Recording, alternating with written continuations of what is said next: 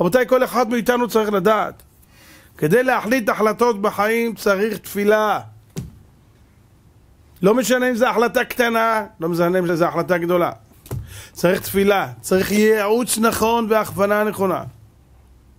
לא בכל עצה, רבותיי, שרוצים להתייעץ, מתייעצים עם כל העולם. אחד החורבנות הכי גדולות של האדם, מה אתה אומר? מה אתה אומר? מה, מה זה משאל עם?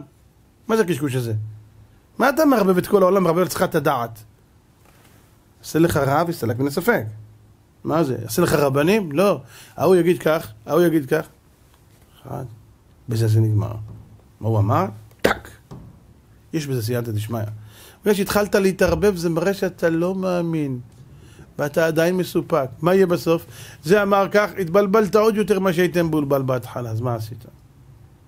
ככה לא עובדים. רבותיי צריכים לדעת שכל הזמן אדם צריך להיות עם תפילה ועם עיניים למעלה וגם בד בבד עם זה לעשות את ההשתדלות הגשמית שלו, זה נכון, להתייעץ, אבל לא להשתגע. יש השתדלות ויש השתגעות. עשית את ההשתדלות, פללת, צא לדרך עם החלטה ברורה ונחושה שזה מה שצריך לעשות וזה מה שאני עושה. אם אתה תהיה מסופק, זה גימטריה ספק וגימטריה עמלק. תעשו אותו חשבון. כמה זה ספק? סמך זה 60, פ' זה 80 ביחד, יהיה כמה? 140, ועוד ק' 240. כמה זה עמלק? עין ומ' ביחד כמה זה? 110. ועוד ל' 140, ועוד ק' 240. עמלק, ספק, אותו, אותו גימטריה, 240 שניהם. עמלק זה גימטריה ספק, ספק זה עמלק. עמלק ערכה בדרך, הוא הכניס לך ספקות בלב. מי אמר? אולי זה לא נכון, ואולי זה כן, אז מה, מה ייגמר? אתם יודעים, אני אומר לכם, אתם יודעים כמה אנשים שאני מכיר שבאו, שאני אעשה להם חופה אללה, באותו יום של החופה אומר לי הרב, אני עדיין לא בטוח שזה זה אללה, אתה מתחתנם, יא מעבול הזמין אולם, הזמין זה, על ככה ספק. שוקע, תגיד לי. מה, אתה נורמלי? מה זה?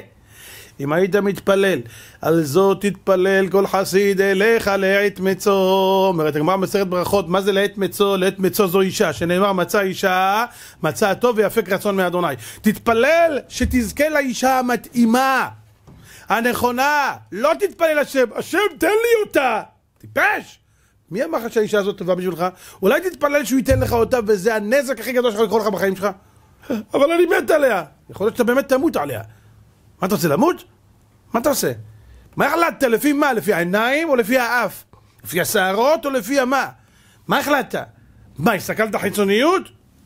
אדם יראה לעיניים והשם יראה ללבב? מי אמר לך שהיא טובה בשבילך?